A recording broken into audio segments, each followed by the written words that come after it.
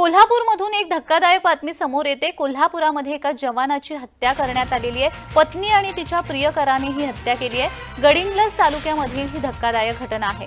कोल्हापूर जिल्ह्यामधील गडिंग्लज तालुक्यामधील कसबा नूल हे गाव या जवानाच्या हत्येने हादरलेलं आहे. भारतीय सीमेवर कार्यरत जवान अमर देसाई हे सुट्टीवर आले असताना त्यांच्या पत्नीने प्रियकराच्या मदतीने त्यांना तण तणनाशक पाजलं. त्यानंतर अमर यांची हत्या केली.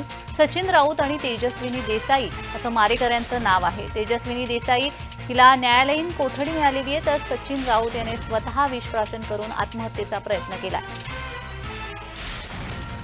मेरे जाने के बाद पढ़ने की पढ़ाने की जिम्मेदारी मेरे पिताजी की रहेगी साहब। यानी कि भीमगोंडा रामगोंडा देसाई ये पढ़ाएंगे साहब मेरे बच्चों को।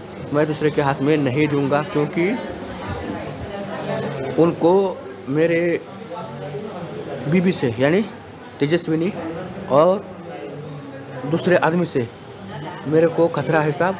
तो मैं मैं तो जा रहा हूँ साहब ज़िंदगी से, लेकिन उनका अच्छा होना चाहिए साहब। तो ये मैं आपसे वीडियो कॉलिंग थ्रू आपसे मैं रिक्वेस्ट कर रहा हूँ साहब। प्लीज़ आप सोचिए और मुझे सहायता कीजिए। राम राम साहब।